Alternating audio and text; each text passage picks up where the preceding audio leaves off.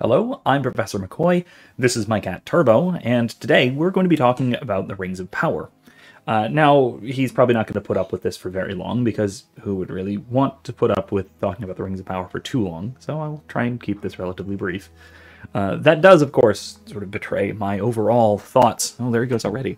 My overall thoughts about the show, uh, at least as far as season one.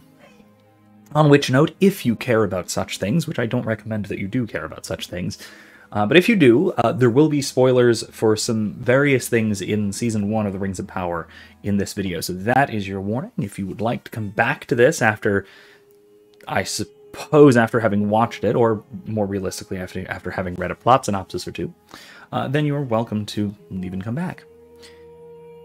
Now, as I've said in other videos before, I have no particular expertise in literature or in storytelling, or even really in media criticism. And so because that isn't my forte, it's not it's not what you come to this channel for, really. Um, I am going to be uh, looking at something very specific about the Rings of Power, uh, and something that it did uh, in a very a very strange choice that was made in the uh, in the writing and production of Rings of Power, um, as very separate, distinct, and strange compared to the writings of Tolkien in the proper Legendarium. If you're looking for um, more extensive and uh, and more uh, literary critiques of the Rings of Power, uh, there are plenty, plenty of those floating around the internet nowadays. and so you have plenty to choose from. One that I will recommend from a channel that is by some horrible, horrible catastrophe, smaller than mine at this point, at the time of this recording at least, uh, is the Jolly Viking. He has done a fantastic job and a very thorough job from a very solid lore perspective, um, going through the Rings of Power episode by episode, something that I could in no way bring myself to do. So, all the more power to him, and I very highly recommend uh, his videos on the subject if that is what you're looking for. Here, though, and from my perspective, um, I wanted to share an observation that I had about the Rings of Power, and one particular element within it. To examine this uh, and to explore what I've noticed and why I've noticed it as being strange uh, will require us to, will require us to look at some comparisons and some contrast points between the writing of the Rings of Power and the writing in Tolkien's Legendarium proper that he wrote himself and that was compiled by his son, etc. In both Tolkien and in the Rings of Power, we find what what should be called interracial relationships.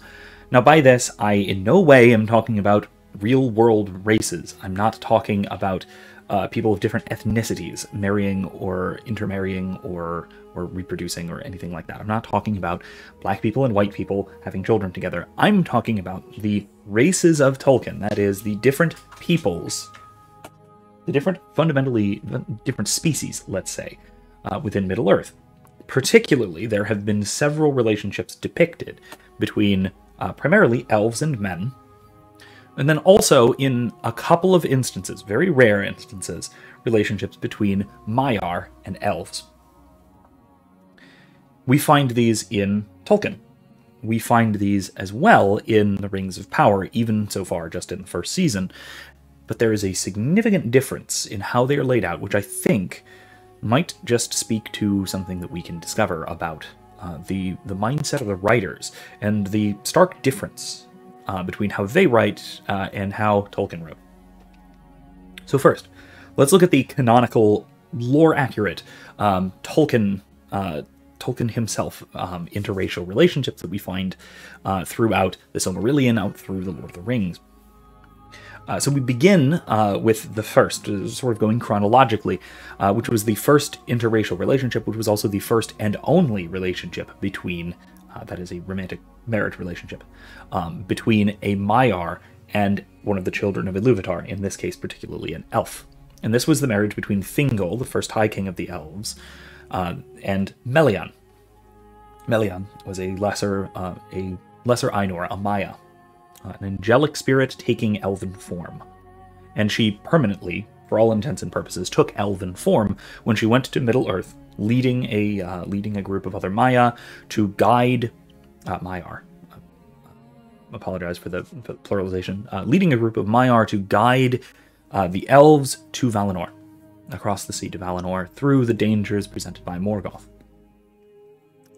Um, of course, she and Thingol uh, fell in love, and they established their kingdom of Doriath uh, in Beleriand, in Middle Earth, before going across the sea to Valinor.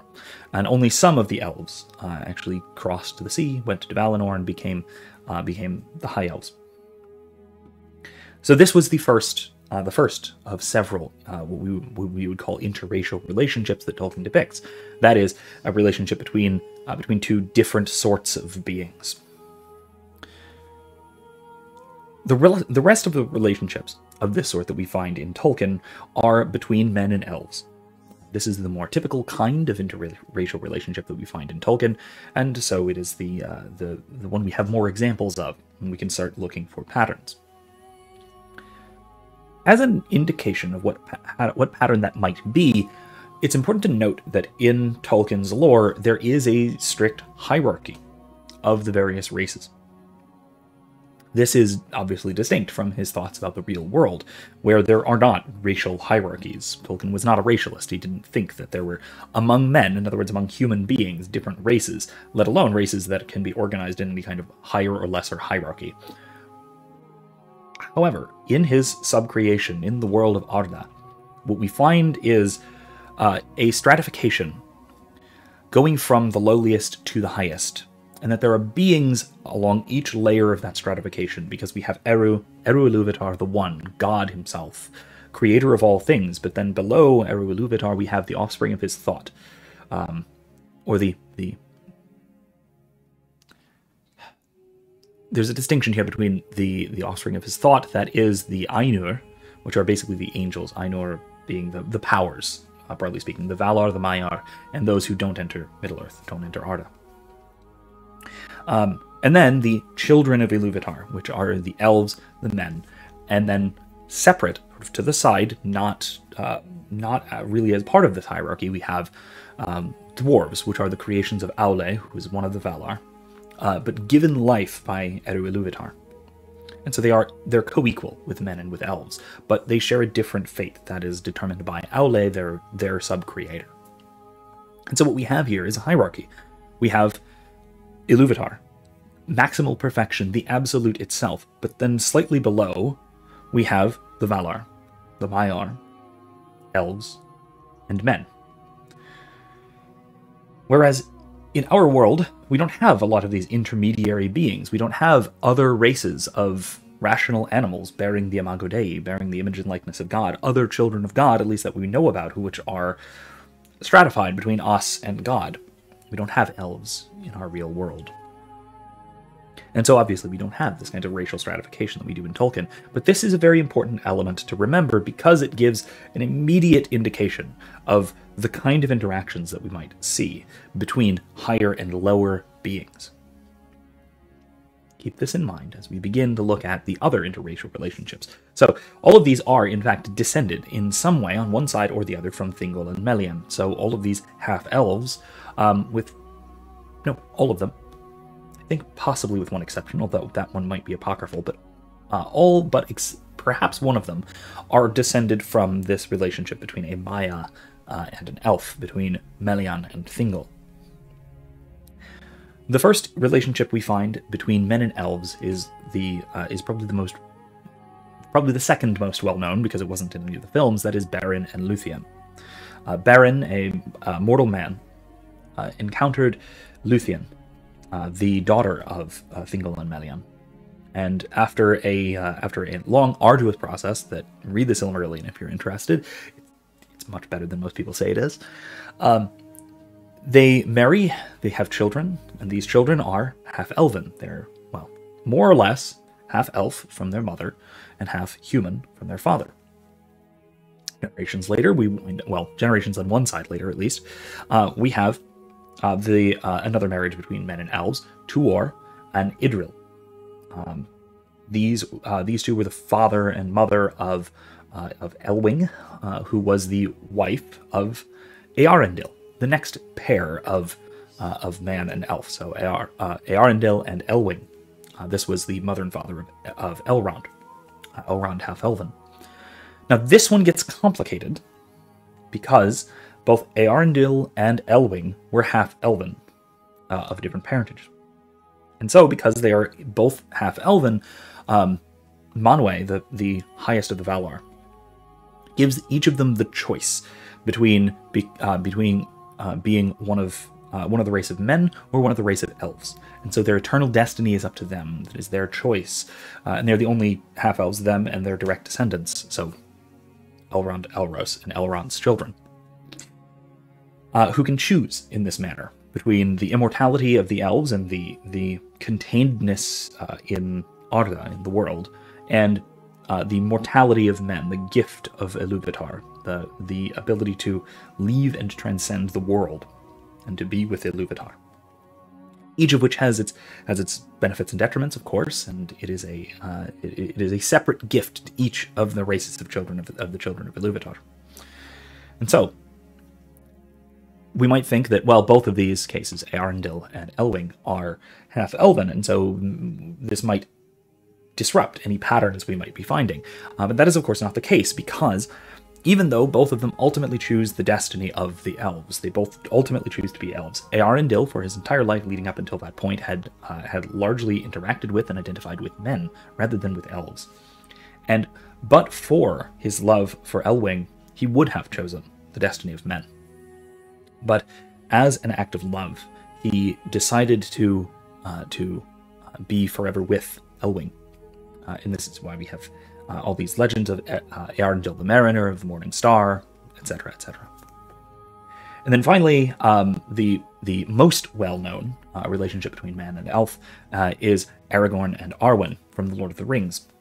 Uh, this is as depicted in the films, um, but it's also complicated, much like uh, Eärendil and, uh, and Elwing, uh, but in reverse. Um, both Aragorn and Arwen were half elven. They were both descended from Eärendil uh, and Elwing distantly.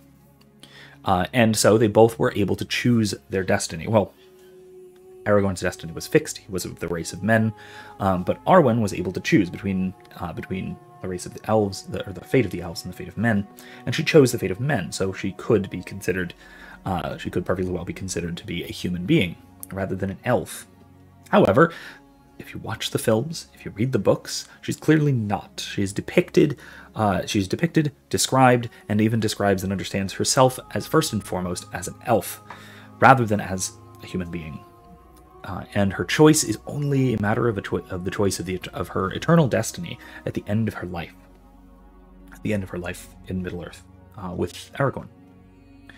And so while she ultimately chooses the fate of men, she is, for all intents and purposes, and especially symbolically speaking, and able to be understood in terms of patterns, she's an elf.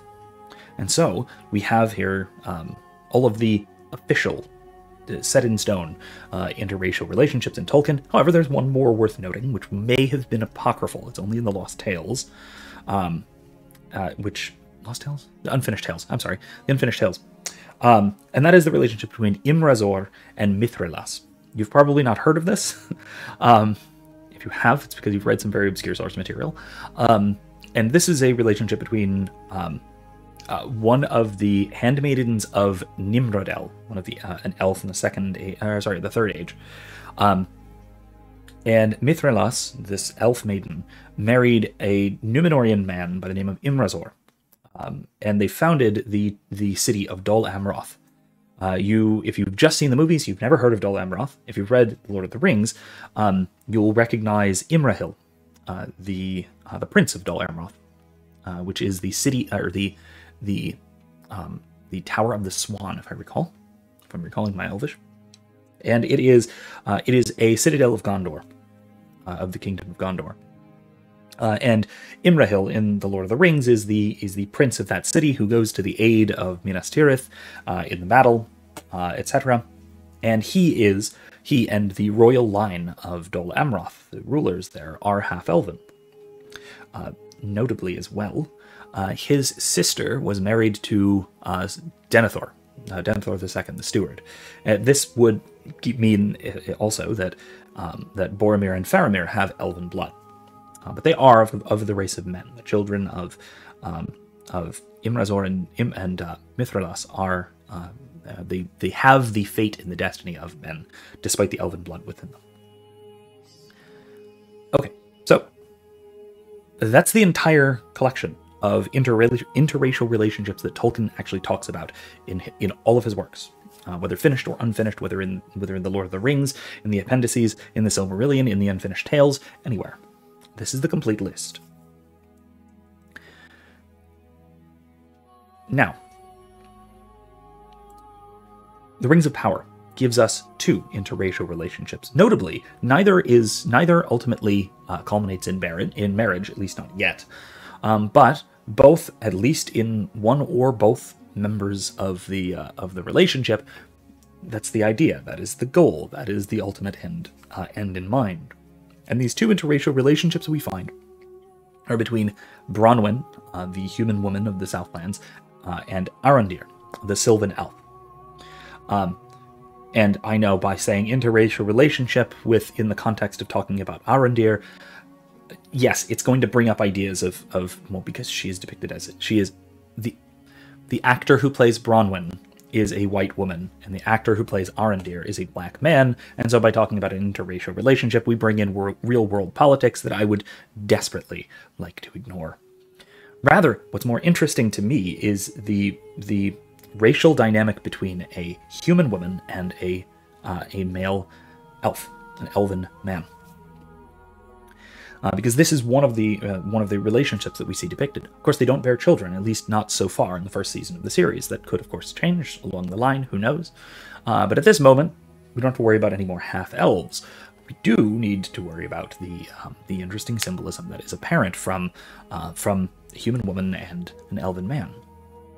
Now, the other interracial relationship is distinctively one sided, um, and it's also rather disturbing for all sorts of reasons, um, and that is the, uh, the proposed relationship, or the relationship or proposal between Galadriel and Sauron. And this is where we get spoilers, um, because we see this, this companionship, I suppose, develop between, uh, between uh, Sauron in his human form um, and Galadriel, throughout the series, and when he finally reveals who he is, reveals himself as Sauron, he proposes marriage, that they uh, that she be his queen and that they rule Middle Earth together. Now Sauron is a Maia. Despite his appearance and his depiction and his disguise as a mortal man, he is a Maia. He is a lesser angel of the same kind as Melian. And so once again, what we have is an interracial relationship with this particular higher and lesser dynamic. Okay. Now, if you've been if you've been following along and if you've been paying special attention both to uh, to the members of each of these relationships as well as the order that I've said to them, you may have noticed a pattern. The pattern is all the same throughout all of Tolkien's uh, Tolkien's original interracial relationships. Is that the woman, the female of the relationship, is the higher being, and the male is the lesser. So first of all, we see uh, we notice that the only elf who marries a non-elf, the only male elf who marries a non-elf, is Thingol, who marries Melian, a Maia, higher than him, someone who is above him and unachievable. And yet, all of the other el- elf-human relationships that we see throughout all of Tolkien are as depicted are human man, elven woman. Every single one, whether that's human and elf, or whether that is elf and Maia, are the lower male, the lower man, so to speak, uh, is uh, is looking up upon his beloved. We find this dynamic inverted with the two cases of interracial relationship we find in the Rings of Power.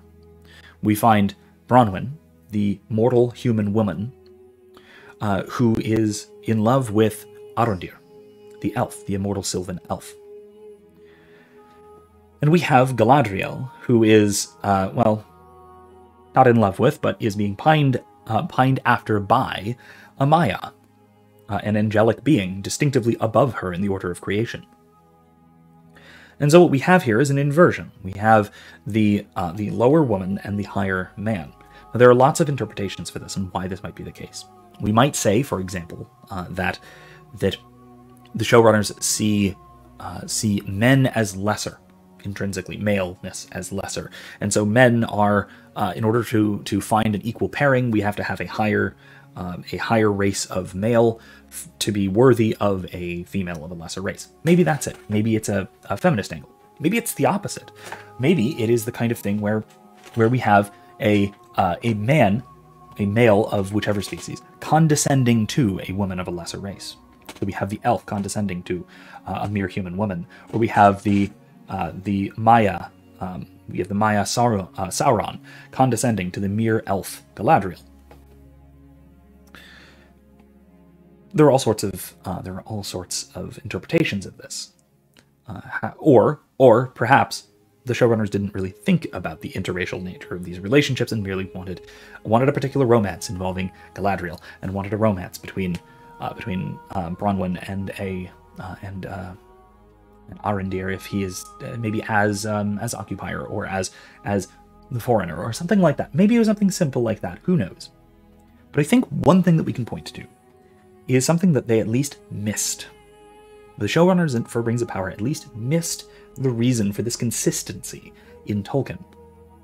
And the reason, if you look at the the uh, the descriptions, the stories, and the poetry, especially the poetry surrounding each of these interracial relationships written about by Tolkien, we see a very specific picture developing for the reasons for why these relationships occurred and the, why they recur, occurred in the direction or the, the sort of symbolic pairing that they did, which is purely romantic. Romantic in the in the classical sense, in the sense of romantic poetry, etc. Where the male, the man, is seen as pining for the higher, unachievable, almost angelic, or in one case, literally angelic, woman. And so, just like everything we see in Tolkien, everything we see about Tolkien's imagery of the feminine is a romantic expression of, um, of the angelic ideal. It is the kind of thing that we see in Marian imagery, hence Galadriel being expressed in, in consistently Marian imagery throughout uh, throughout the Lord of the Rings, uh, with Melian, the girdle of Melian protecting the kingdom of Doriath. Again, Marian imagery of uh, of uh, Mary, the Mother of God, protecting the Church. All of these things are very very explicit, or well, they're implicit, but they're very clear, symbolically speaking, in Tolkien's writings. And what we see here, the reason for this is that Tolkien is expressing the feminine, particularly symbolically the feminine, as something which is higher and above, greater, more graceful, uh, more. Uh, I hate to put it so maybe simply, but I think it's it's accurate, more beautiful. And so naturally, the higher in a relationship between between two unequals, the higher would of course be the woman because that is how a man ought to ought to treat and ought to understand the woman that he loves as something that is above him, something that sh- should be out of his reach. But by her grace and by her beauty, she has uh, she has brought him up to her, and that's what we see consistently in every case uh, in Tolkien, whether that is Thingol and Melian, or whether that is any of the number of of uh, of man and elf pairings. In each case, we see the the most beautiful depiction of a woman, a man seeing her, a man falling in love, the woman falling in love with him and his uh, and his attempts to reach her and reach out to her, and then they come together into this this beautiful union. We don't see this in the Rings of Power, and I think it's because there is a distinct lack of romanticism among modern writers. I say modern writers, writers who are within the modernist tradition that Tolkien balked at significantly because we don't see the kind of um, the kind of imagery of divine beauty that we see in Tolkien. If anything, we see a kind of uh, a kind of lower worldliness on, on both partners in both cases, really. So I think that this is one point where the writers of the Rings of Power dramatically missed the mark, and it's something that I don't think anyone else, to my knowledge at least, has noted, has made note of, has really criticized them for, because it's a small little point, and it's a it's a it's a highly abstract and a very symbolic point. But I think it's very crucial and very important to understand some of the thought of Tolkien, and especially to understand why it is that Tolkien, uh, why it is that Tolkien wrote relationships, broadly speaking, human relationships, romantic relationships in the way that he did. That is, incredibly romantically. In a way that modern writers simply can't understand. So I may wind up uh, as well having other uh, other thoughts on Rings of Power. We'll see. Um, again, I will try and lend my particular philosophical expertise uh, to looking at these uh, looking at these topics if possible. Um, but if not, uh, I will be well and happily done with this show. Um, but we'll have to wait and see, see if other thoughts come up. So with that, uh, I will leave you all until next time. Thanks for listening, and I hope that uh, I hope that this has been a, a new novel exploration of an interesting topic.